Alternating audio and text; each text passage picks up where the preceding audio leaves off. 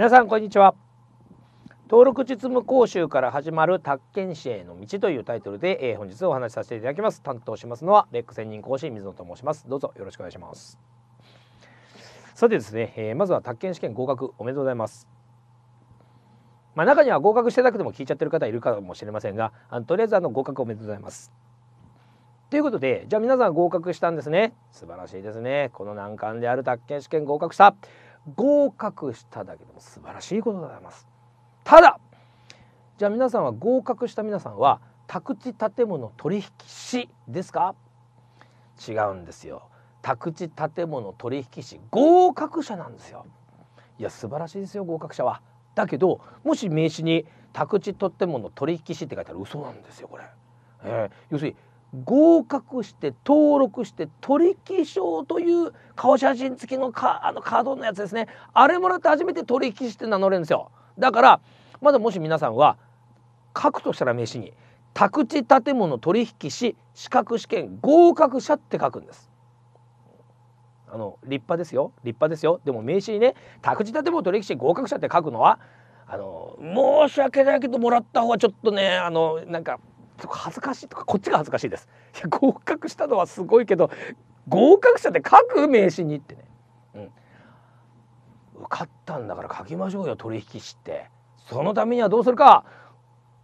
取引書もらわなきゃいけない。さあ取引書もらうためにはどうする。合格はしてる。もう難関は乗り切ってます。でも登録をしなきゃいけないんですよね。はいそこでです。はい今日は。まず登録実務講習というののお話で合格者から価値ある宅建支援になりましょうということでさあここなんですけど、えー、見えますよね。まずじゃあ皆さん合格おめでとうございます。じゃあ実務経験ありますか？実務経験ある方は2年以上の実務経験ある方はまあ合格したらそのまま合格証を持って登録してただ登録の時にねあのないことの証明とかね身分証明書っていうねうん、ボケてません破産してませんっていうね証拠書面をこう役所で取って、うん、そして添付書類にして顔写真付き取ってで登録するっていう作業がいるんですがまああの、まあ、そのままいけるんですよ。ところが実務経験2年ない方は合格して合格証だけじゃダメさあそこでやらなきゃいけないのが2年間の実務経験なんですよ。だもちろんねあの合格して不動産業者に勤めて2年働いていけば登録実務講習というこの講習はいらない登録できます。だけど2年間実務の経験ないと、え要はすぐにね登録で取引をもらえないんですよ。いやせっかく不動産業界で払って働くんだったら持ちたいですよね取引証ね、うん、登録実務講習です。ね、レックの登録実務講習です。レックじゃなくてもいっぱいいろんなところでやってけどレックの登録実務講習です。それはなぜならレックの宣伝だから。ね、じゃあレックの登録実務講習を受けるとどうなるか。ね、他の学校のでもいいんだけど、ね、レックの受けるとどうなるか、はい、この登録実務講習合格すると。合格証修了書っていうのがあります、うん、ドラクショーな試験が待ってるんですよ皆さんをね。宅建試験とははるかに団地のレベルの簡単さな、まあ、ものがあるんですよ、ね、それをやることによって終わりますね。登録できるんですね。2年間の実務経験なくてもできる。これはご存知ですよね。そのためにやるのがこの登録実務講習でございます。でちなみに実務経験2年以上の方はいらないんですよ登録実務講習。ところが登録実務講習受けなくていいと思ってたら受けなきゃいけなかったんだ俺私ってなることがあるんですよ。それはどういう場合かたら例えばね不動産の仲介2年やってたんですけど実務経験ゼロってことになってたんですよと。あのね取引士が5人に1人以上いるじゃないですか。で5人に1人の5人になるのにあのその結局営業やってじ、ね、っていうことにしちゃうと取引士増やさなきゃいけないから、ね、要は取引士足りない会社なんてもう営業やらせてんだけどあの実務やってないことにしてんですよ。でやってないことのしか受かったとしてもいややってないから証明できないんですよ。これかわいそうですよね。うん、いやもう8年やってたのに俺0年ってことになってたんですよひどくないですかと、うん、あのひどいですけどよくあることなんで、ね、登録実務講習受けてたんです。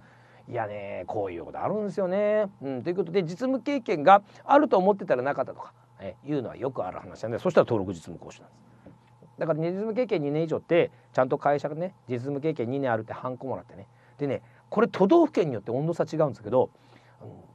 もう全然もう会社の例えば営業とか営業事務とかやっててそうやってあの会社の印鑑がもう2年3年とかってあればもうそのまま通す都道府県もあるんですよ。でも厳しいとこだとちゃんとそれ本当にやってたかってこう調査するんですよ。うん、であと面談みたいの最近コロナだから面談やらせないみたいですけど、ね、東京もねだけどあの何やってましたって聞かれるんですよ。いやいやあの知り合いの会社にハンコもらっただけなんでなんて言えないじゃないですか。うん、だからと止まっちゃうとねうん、ああちょっと実務経験って言えないですよねみたいになっちゃったりすることもあるんですよ。だからまあやっぱり何やともあれねなんか微妙だったら登録実務講習受けた方がいいですよっちゅう、まあ、そういう話です。でこの登録実務講習を受けると2年間の実務経験がなんと2日ででねあの、まあ、カリキュラムがある本があるんですけど、まあ、冊子があるんですけど要はまずね実務講習ってお申し込みいただくと自宅学習通信講座。えテキスト DVD で、えー、来ますっていうね、うん、ウェブじゃなくて DVD が送られてくるっていう、うん、この楽しい DVD あの私はやりませんけど誰がやるか今年誰かやるか担当は分かりませんけどえ DVD を見てもうガン見しとくんですね。で年明けとかねスクーリング始まるんですよ。はい。演習修了試験なんてありますかね。この演習というのは12課というのはずっと問題やってるというよりはまあ話聞いていただくんです。でこのスクーリングのところの話というのはどんな話やるかというと宅建のお勉強じゃないです。で宅建のお勉強じゃなきゃ何やるかって言ったらこれねあの今日ご紹介したいのはこれなんですよ。あの登録実務講習テキストとあと資料集でワークブックっていうこの3冊で登録実務は進めていくんですがテキストあのー、こちらパーッとちょっと中身見るといろいろな目次あるんですがねあの1個ね全体像見える一番いいのがこれなんですね14ページにあるんですけどあの14ページって言って皆さん手元にはないと思いますけど、ね、あの媒介業務の全体構造ってありますね。でまずこの登録実務講習っていうのは2日間あるんですけど売買の仲介売買の仲介の最初から最後までもう一連の流れを見ます。でその時にどういう点に注意してどういうことをやるかどういうふうに動くのかっていうのをやっていくんです。でその中でワークブックというので例えばチェックすべき点をねチェックするとかあと重説の作り方重説をどうやって当てはめていくか、ね、売買契約書37書目をどういうところをこう書いていくかってね要は重説とか契約書をこう作っていこうみたいなのこれワークブックです。まあ、作っていこうって言っても穴埋めだから大したことないんですけどねただこのワークブックであこうやって重説って作り上げて37条作り上げていくんだっていうのを体感していただくことがこのワークブックなんですよ。でこのワークブックをやる前提で講義はこれで進めています。え売り主側業者はまあ物元業者とか言いますけどね要は物件の元だから物元客付け業者って言います買い主側業者を。で今書いてないこと言ったんですけど結局ね登録実務講師は何の講座かったら宅建の勉強じゃないんですよ。で私はこういう位置づけだと自分で解釈してるんですけど宅建でお勉強したことをそのまま仕事で使えるかって言ったらあ全然使えないんですよこれ。うん、あのいや使えるところもあるんですよもちろんね。だけどえ？え違うの？えでも宅建ではこうだったしと。これです。あのねいやあの登録実務講習って何がいいかったらそのあ私はとにかく私の視点ですよ私は講義やる時に意識してるのはその試験でやったことと実際の現場の違い温度差そういうところをねお話ししてるんですよ。要は試験ではこうだったけど仕事ではこんなもんなんだよみたいなところをあらかじめしとかないとあの、ね、すごくこうねあの例えば宅建合格するんじゃないですか。うん、よし宅建受かったから不動産会社入ろうって宅建持ってるでも何にも自仕事は知らないえー、そういう人がね宅建持って入ってくるとね持ってないやつでバリバリやったやつがひがむんですよこれ。ひがむっていうのはなんだよ仕事知らねえくせに宅建持ってたからなんだよみたいなねいやじゃあお前受かれよなんですよねお前受かってから言えたけど受かってないやつに限って結構仕事はできたりするんですよ営業バリバリ行ってますエースですとでも資格持ってませんゴロゴロいるんですよえそういう人がなんか資格もないのに売り上げも上げてないのになんか宅建持ってて「いやこれおかしくないですか?」みたいに言ったらもう絶対いじめの対象なんですよ。あのパワハラとかそういうのはダメな世界だけど何でもあっちゃうのがこの不動産業界だったりしたりするわけですよ。うん、そうするとよろしくない。だからえ試験ではこうだったけど仕事ではこう言ってもう事前にちゃんとこう体制つけとかないとえもう不動産会社に入ると全部ブラックに見えますから。よ怖せっかく受かって不動産業界に入るって言ったのになんかブラックで嫌になっちゃったら嫌ですよねだからこの不動産業界の実情みたいのをしっかり認識して入った方がいいですよと私は思うんですね。うん、だからそういう話をします。じゃあそこでえ不動産会社に入って知らなきゃいけない？例えば売り主側業者のことをね物元業者って言うんですよ。元付けとか物元って言うんですけど宅建では出てきますよね。でも例えば物元業者物件の元だから全然難しくない用語じゃないですか。ところが例えばまあ例えば皆さんが入社してねあちょっと悪いけどさこれ物元の方にちょっと連絡して聞いてみてみたいに言った時に物元って何ですかって言ったらどうなると思います？お前物元知らねえのか宅建取ってるくせにみたいね。知るわけねえだろ宅建の勉強やんねえんだからって言ってやりたいけど言えないんですよ。そんな、うん、だけどそういうもんなんですよ。だから最低限の用語とかね仕事で使うこうワードとかね知っといた方がよくないですか？っていう視点で私は講義はやってます。ね、だからこの売り主側業者まずはいらっしゃいませで受け付けて要は対応ですねお客さんね。で物調物件調査する。でこの調査には本当に物件見るのと役所の調査役長と分かれてる。でどういう視点でやってるかを見て査定値段のアドバイスです。査定して依頼受けてレインズ載せる。ちょうどその頃飼い主が買いたいって受付に来てそして依頼を受けて、ね、物件紹介して案内してそして資金計画。これ資金計画ってね飼い主がどうお金払うかっていうののねアドバイス。で特に大事なのがローン。ローン付け。ローンを通す。でローンって飼い主の属性次第っていうところはやっぱり大きいんですけどある程度ノウハウありますよ、うん、あのちゃんと通すためにはどうするかってね。あの通すために源泉改ざんするとかそういうことを言わ言わ言わないですからね。あのそういう話じゃないですかね。それ違法ですから。それ、ね、だけどその持ってき方とかどういうところに注意するかっていうのを知らないで丸腰でやると飼い主不利益被ることなんですよ、うん、だからそこの資金計画ってすごい大事だけどあの登録実務講習でね話せないですね。えー、なんでかというとねそれはね会社によってね全然状況が違うんですよ。だから、まあ、例えば大手さんとかで提携ローンとかってもう楽勝で通せるねやつだと全然楽だけどとか、うん、お客さんのこうねサポートで、うん、このローンをねやるってなるとなかなか大変なこととかあったりとかねだからそこら辺も会社の状況にもよるのでただその売買の仲介においてローンをしっかりね確実に通すっていうのの大変さとかそういう話をしたりとかあとは条件交渉条件一致要はまあ値段もそうだけどねいつ引き渡すとかの条件ですよね。うん、で売買契約書案の作成。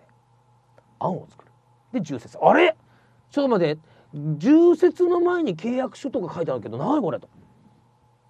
さあ皆さんですね宅建の勉強で重要事項の説明というのをして買うかどうかの判断材料提供を受けてそして買うってなったら37条書面契約書ですよ。順番が違わねえかこれと、うん、はい。それ試験の話ですね。35条37条で、まあ、試験ではだから35条で説明して37条契約書ですよね。ところがね見てください売買契約書先作ってんじゃないですか。重説前に。なんでと。あのこれねちゃんと理由があるんですよ。重要事項の説明をやってじゃあ買おうってなった。じゃあ契約書をまあ、作っていく37条作っていくんですが売り主買い主が意思が合致した内容をじゃあ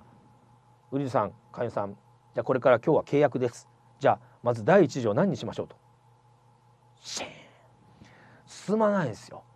うん、結局この重説37条ってどんな感じでやってるかというとまずは条件交渉引き渡し日とか手付金とかね金額とか代金の額とかが決まったらとりあえずそれを売買契約書のひな形もういつも使っているひな形に落とし込む。で案を作る。こんなん出ましたって先に売買契約書を作っとくんですよ。でその売買契約書のいつか案ですからね。まだ正式なもんじゃないですよ。案ですからね。その案をもとに重説を作って説明するんです。だからあの37条書面は説明しないって覚えてますよね試験では。合格された皆さんは知ってるはずです、うん、あもう忘れた。ああいいですいいです。みんなそんなもんです。大体あんな1週間はやったらもう他県の試験の勉強なんで忘れますから。あんなもんです。でも大丈夫です。はい。仕事と違うから。えじゃあこれ37条書面って本当は売買契約書は重説の後なんですよ。でも先に作っといて重説で説明案もするんです。だから結局ね契約書は説明しないって覚えてんじゃないですか。うん、だけど説明してるんですよ案という形で。でそうしないと売り主買い主契約書の内容がどういうことなのか書いてあるのか分かんないと怖くて印鑑押せませんもん説明しますって仕事だったら、うん、だから試験とちょっとなんか違うなですよねここだけでもね。でちなみに売買契約書は事前に見せてこんなん出ますけどって重説同時並行に説明してで納得したら契約書「案」という文字取って印刷して押印なんですよ名前書いて押印なんですよ。うん、ということで契約書は重説の後に作るんじゃなくて前に案作っとくんだと。うん、で売買契約であとは決済引き渡しってありますね。で決済引き渡しってね結構大事な話で決済ってまあお金払うことじゃないですか。これは別にどこの業界でもそうですよ。例えばネットでねあのカード決済とかね決済画面って言ってお金払うことじゃないですか。でただこの不動産の決済というのはもう完全にもうあのイメージというかもう頭に入れちゃっていいですけど決済イコール登記の日だと思っていいです。お金払う所有権移転登記をする日は決済の日。で決済の日で所有権移転登記入れるってね。でとお金を払う登記引き渡しあるのが決済の日っていう認識を持っちゃって大体大丈夫なんで。でまああの、まあ、同時にやらないことももちろんあるんですけどもね大体お金払うのと引き渡し登記は同時にやる。で大体売買契約からねちょっと時間空きます。うん、同じ日に決済引き渡しやることないです。というような、ね、ところでこの間に何をしてどういうことに気をつけなきゃいけないかみたいなお話をやるのがこの登録実務講習なんですよ。だからもう事例があるんですよ。だからこのねあの資料集というのは、うん、その事例でまず売り主が小野晴彦さん買い主が佐藤さん、えー、売り主の仲介が中央不動産っていうので買い主側が経費相談さんで,、ね、で売り主はどういう人なのか、ね、59歳会社員の、え中野に住んでる人ですよ、ね、今老人高齢になったから秋田に帰るからね住宅ローン完済してで売る買い替えではないですよ。たいな状況をちゃんと把握しながら売買を進めていくという。でその中で例えば登記ねちゃんと取るとか構図とか取るか取るものをチェックしてねもう落とし漏れがないかをやっていくとかいうようなそういう業務の流れを体感していく。これが登録実務講師の内容でございます。うん、なのであの例えば宅建士の登録のためだけじゃなくてその仕事というのがどんなものかっていうのを知るという点でもこの登録実務講習は有益です。だからこの登録実務講習ね、まああのまあ、取引士合格しただけ、ね、合格しただけって合格が一番大変なんですよ。で合格してる状態で十分価値ある資格です。